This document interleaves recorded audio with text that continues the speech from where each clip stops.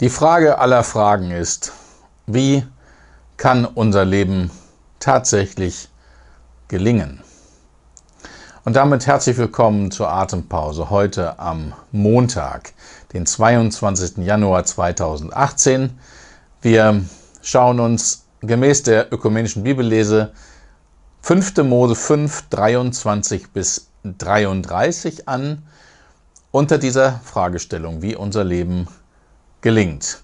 Wir befinden uns ja immer noch im Deuteronomium, also im fünften Buch Mose. Wir haben am Samstag gelesen, wie Mose die zehn Gebote von Gott bekam. Und was wir heute lesen, ist im Nachklang dazu ganz entscheidend wichtig. 5. Mose 5, Abvers 23. Als ihr aber die Stimme aus der Finsternis hörtet und der Berg im Feuer brannte, tratet ihr zu mir, alle eure Stammeshäupter und eure Ältesten, und spracht, siehe, der Herr unser Gott hat uns sehen lassen seine Herrlichkeit und seine Majestät, und wir haben seine Stimme aus dem Feuer gehört. Heute haben wir zwar gesehen, dass Gott mit Menschen redet und sie am Leben bleiben, aber nun, warum sollen wir sterben? Dies große Feuer wird uns noch verzehren. Wenn wir des Herrn unseres Gottes Stimme weiter hören, so müssen wir sterben. Kann denn Sterbliches die Stimme des lebendigen Gottes aus dem Feuer reden hören, wie wir, und doch am Leben bleiben? Tritt du hinzu und höre alles, was der Herr unser Gott sagt, und sage es uns. Alles, was der Herr unser Gott mit dir reden wird, das wollen wir hören und tun. Als aber der Herr eure Worte hörte, die ihr mit mir redetet, sprach er zu mir, ich habe gehört die Worte dieses Volks, die sie mir, die sie mit dir geredet haben. Es ist alles gut, was sie geredet haben. Ach, dass sie ein solches Herz hätten, mich zu fürchten und zu halten alle meine Gebote ihr Leben lang, auf dass es ihnen und ihren Kindern wohlginge, ewiglich. Geh hin und sage ihnen, geht heim in eure Zelte. Du aber sollst hier vor mir stehen bleiben, damit ich dir verkündige das ganze Gesetz, die Gebote und Rechte, die du sie lehren sollst, dass sie danach tun in dem Lande, das ich ihnen geben werde, um es einzunehmen. So habt nun Acht, dass ihr tut, wie euch der Herr euer Gott geboten hat, und weicht nicht, weder zur rechten noch zur linken, sondern wandelt auf dem Weg, den euch der Herr euer Gott geboten hat, damit ihr leben könnt und es euch wohlgeht und ihr lange lebt in dem Lande, das ihr einnehmen werdet. Die Israeliten sind völlig überrascht, dass sie tatsächlich in dem Feuer am Berg Horeb Gott selbst begegnen, seine Stimme hören. Gott macht sich hörbar aus der Unsichtbarkeit des Himmels mitten am Berg Horeb, sodass sie ihn wahrnehmen können. Und sie bekommen es mit der Angst zu tun. Warum? Weil sie wissen, dass Gott heilig ist. Dass Gott ein verzehrendes Feuer ist. Dass Gott in einem Licht wohnt, zu dem niemand Zutritt hat. So wie es zum Beispiel auch bei Paulus heißt im 1. Timotheusbrief, Kapitel 6, Vers 16. Gott wohnt in einem Licht, zu dem niemand hinzutreten kann. Die Israeliten hatten noch ein klares Verständnis davon, dass Gott heilig ist und wir Menschen Sünder sind. Und so kommt es dazu, dass nicht Gott sagt, ihr sollt hier aus meiner Nähe verschwinden und auch nicht Mose sagt, hey, geht mal besser in eure Zelte, sondern die Israeliten selber sagen, Wir wollen das nicht weiter wagen, den heiligen und allmächtigen Gott so in der Nähe zu erleben.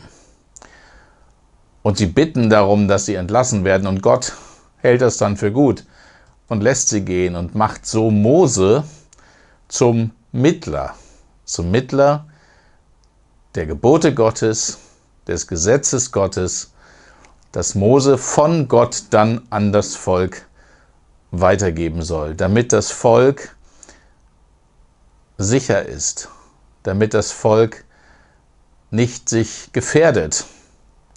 Sie hatten Angst davor, dass sie im Licht Gottes, im Feuer Gottes Schaden nehmen könnten, weil sie sich dessen bewusst waren, dass sie ein sündiges Volk sind. Menschen, die immer wieder die Gebote Gottes übertreten, die immer wieder gegen Gott rebellieren, die immer wieder auch auf dem Weg aus Ägypten hin zum Sinai gemurrt haben, wie es heißt, das Murren des Volkes. Das ist schon in dem Begriff, spürt man schon, in dem Murren, was da für eine Rebellion, für ein Rumgemaule, für eine Respektlosigkeit Gott gegenüber sich ausdrückt.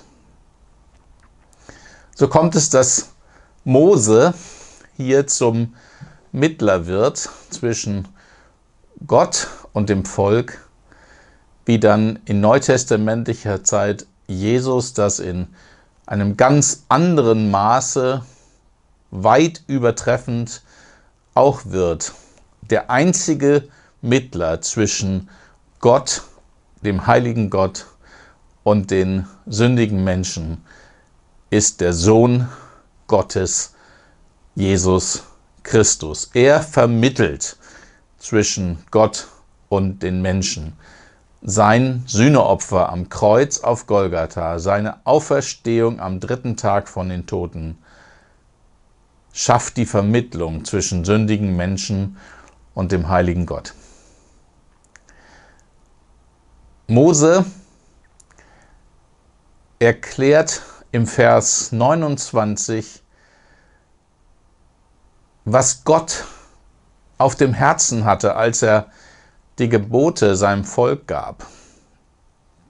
Gottes Stimme sagt hier, ach, dass sie ein solches Herz hätten, mich zu fürchten und zu halten alle meine Gebote ihr Leben lang, auf dass es ihnen und ihren Kindern wohl ginge ewiglich. Wie kann unser Leben gelingen?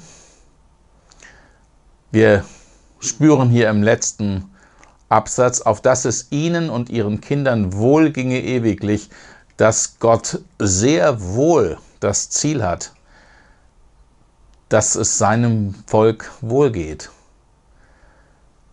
Das Leben gelingt, dass auch unter den Rahmenbedingungen der gefallenen Schöpfung möglichst viel gelingt, möglichst viel zum Ziel kommt, möglichst viel Leben im Miteinander gelingt. Und das ist ja die Frage, wie geschieht das, wie geht das? Und da gibt es hier zwei ganz klare Antworten. Das erste ist, wenn die Menschen doch Gott nur fürchten würden. Nicht im Sinne von Angst haben vor Gott, sondern im Sinne von Ehrfurcht haben vor Gott. Wenn die Menschen doch nur begreifen würden, dass Gott der heilige Gott ist, der allmächtige Gott, und dass die einzig angemessene Haltung eines Geschöpfes gegenüber seinem Schöpfer Respekt ist und Ehrfurcht. Gott zu fürchten. Nach meinem Eindruck ist in der Verkündigung der letzten 30, 40 Jahre die Ehrfurcht vor dem Heiligen, vor dem allmächtigen Gott sehr zu kurz gekommen. Wer hat schon mal eine Predigt gehört über die Ehrfurcht vor Gott oder dass Gott zu fürchten wichtig ist? Wir haben uns angewöhnt, mit einem sehr harmlosen Gottesbild zu leben, das unsere ganze Nachfolge, unseren ganzen christlichen Glauben lasch und lau macht. Wer begreift, wer der Gott ist, der uns gemacht hat, und dass dieser heilige und allmächtige Gott in der unsichtbaren Wirklichkeit des Himmels um uns herum gegenwärtig ist in unserem Leben. Und dass er ernst zu nehmen ist als der, der uns zur Verantwortung ziehen wird für unser Leben, der uns ins Gericht stellen wird. Und dass nicht alles egal ist, ob ich es so rum tue oder andersrum. Wer das begriffen hat, der lässt sich von Gott Gebote zum Leben geben. Die Gebote Gottes sind ja nichts anderes als die Gebrauchsanleitung des Schöpfers für die Geschöpfe, damit ihr Leben, was er ihnen geschenkt hat, gelingt. Wie kommen wir Menschen nur auf die Idee, dass wir es selber besser wissen als unser Schöpfer? Und deshalb lügen und betrügen, Ehe brechen und stehlen, nicht ausruhen, Gott lächerlich machen, von Gier besessen sind. Wie kommt das eigentlich, dass wir glauben, dass wir das Leben besser in den Griff kriegen, als auf die Gebote Gottes zu achten? Wir leben in einer Gesellschaft, die in weiten Teilen die Gebote Gottes nicht mehr für relevant hält. Und wir Christen stehen in der Gefahr, genau dasselbe zu tun. Als ob es nicht mehr darauf ankäme, wie wir konkret leben. Was für ein Irrglaube. Wenn wir eine Bedienungsanleitung nicht beachten für eine komplizierte Maschine, dann werden wir mit hoher Wahrscheinlichkeit diese Maschine schädigen oder sogar ruinieren. Und so banal ist das, so einfach ist es auch für das ganze Leben betrachtet.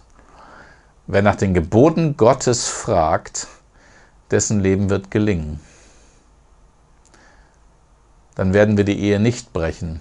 Dann werden wir nicht Beziehungen zerstören durch Lug und Betrug dann werden wir uns nicht zugrunde richten, weil wir pausenlos nur Anspannung und Arbeit erleben. Dann werden wir nicht in der Versklavung an uns selbst